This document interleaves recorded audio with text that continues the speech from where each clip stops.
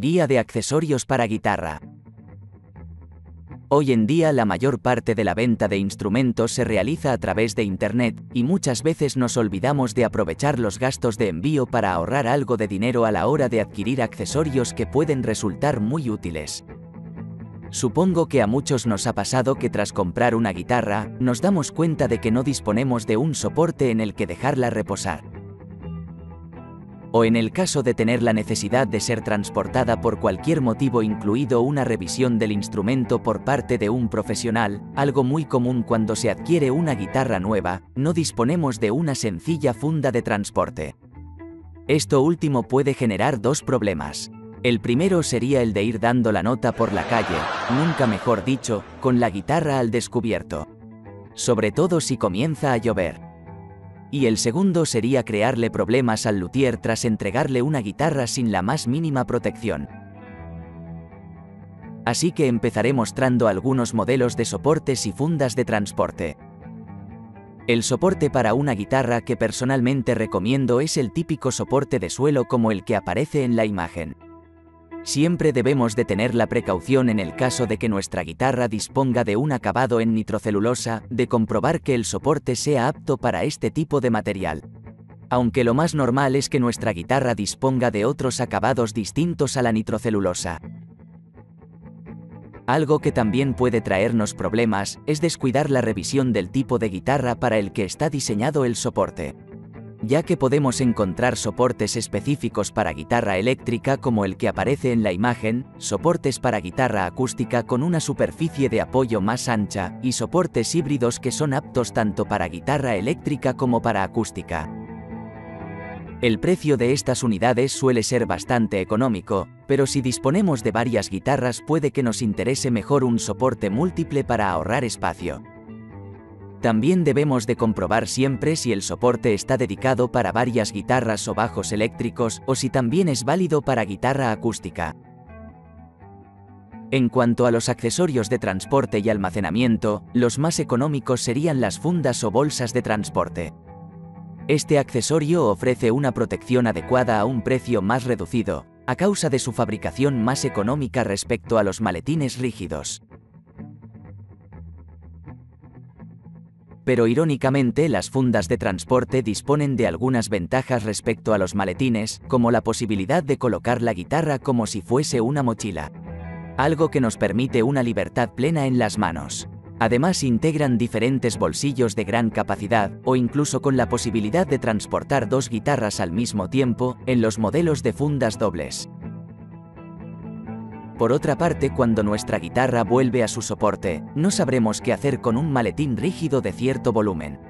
En cambio, una funda podemos guardarla en cualquier parte. Sin embargo, la protección extra que ofrece un maletín es esencial para la conservación de una guitarra a nivel profesional. Uno de los primordiales accesorios que debería estar incluido en la compra de nuestra primera guitarra sería una correa sobre todo si se trata de una guitarra o bajo eléctrico. En el caso de las correas, debemos de tener en cuenta el ancho de la misma, si nuestro modelo de guitarra dispone de un peso considerable, como pasa de forma generalizada por ejemplo en algunos modelos Les Paul, guitarras de 7 u 8 cuerdas o bajos eléctricos. Ya que podemos optar si se diera el caso por correas un poco más anchas, para evitar que se nos clave en el hombro. El ancho estándar para una correa es de 5 centímetros, para que lo tengáis en cuenta si necesitáis una correa un poco más ancha. Algo que ya sabemos, es que con el tiempo el enganche de la correa tiende a perder su funcionamiento óptimo. Es muy habitual lo de atrapar la guitarra al vuelo cuando se escapa accidentalmente de la correa. Supongo que sabéis a lo que me refiero. Así que tampoco está de más disponer de seguros para la correa.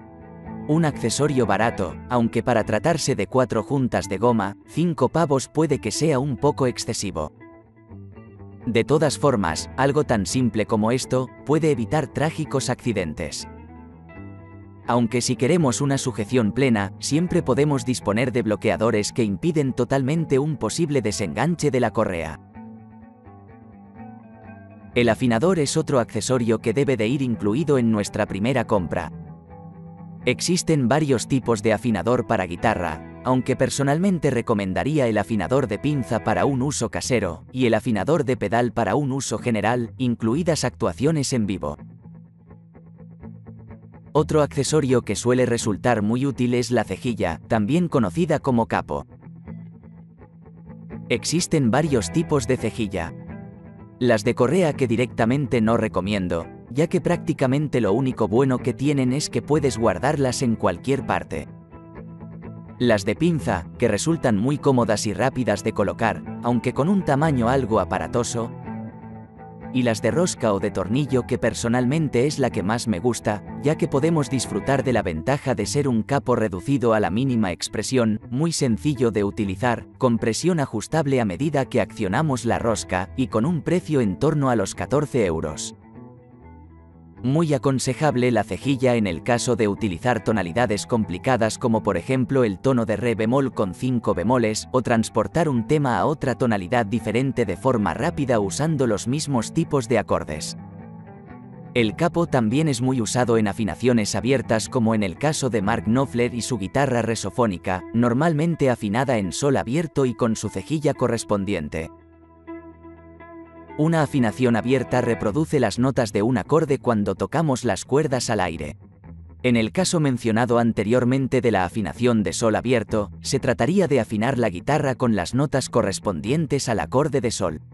Así formaremos sucesivos y diferentes acordes a medida que movemos la cejilla o utilizamos un slide. Otro accesorio el slide, muy usado con afinaciones abiertas. Este sencillo artículo se fabrica en diferentes materiales como el cristal, metal o cerámica.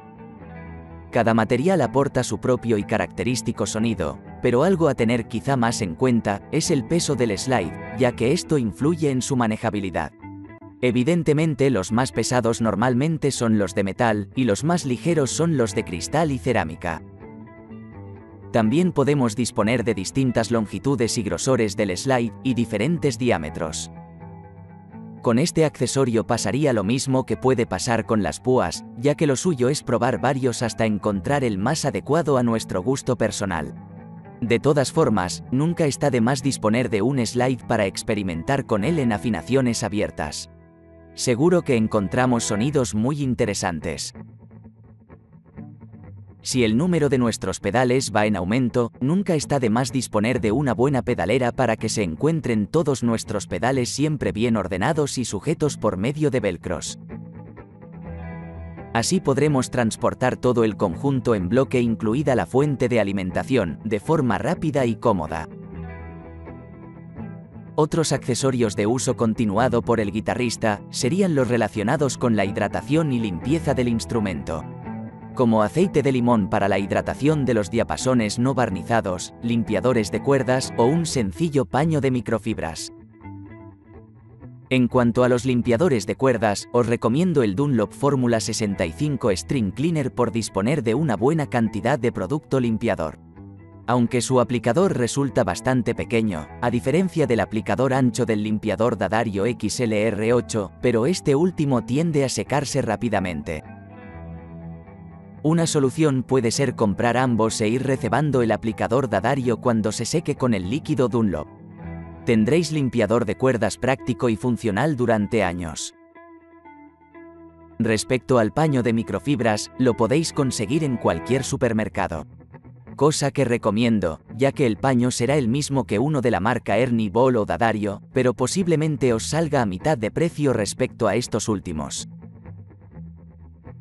En cuanto a las cuerdas, nunca está de más disponer de varios juegos, ya que como podéis comprender si una cuerda se rompe sin disponer de recambio, se acabaría la sesión hasta conseguir el repuesto. El cortador de cuerdas es otro accesorio que nos facilitará una rápida colocación de cuerdas, y se trata de la navaja suiza del guitarrista. Ya que suele disponer en los mangos de otros accesorios como un enrollador de cuerdas y un sacapivotes para guitarra acústica. Al final de este vídeo os aparecerá una lista de reproducción, en la que se muestran más detalladamente las cualidades de algunos de los accesorios que han aparecido en este vídeo como los afinadores y las cuerdas, y otros que no han aparecido como los cables y las púas. Accesorios más que importantes, que pueden llegar a influir directamente en el sonido final de nuestra guitarra. Estos serían la mayoría de accesorios que la gran parte de los guitarristas suelen utilizar más asiduamente, así que ahora nos vamos a los accesorios que podemos encontrar a la venta, pero que en realidad ningún guitarrista necesita. Por ejemplo, el artilugio este que aparece en imagen que no sabría muy bien cómo calificar, ni analizar seriamente cuál es su utilidad o función. Los guantes o los protectores para los dedos los considero simplemente como contraproducentes. Ya que estos gorritos para los dedos impiden el contacto directo con las cuerdas y por consiguiente provocan una falta de sensibilidad con la consecuente pérdida de callo. Algo que todo guitarrista debe de cuidar.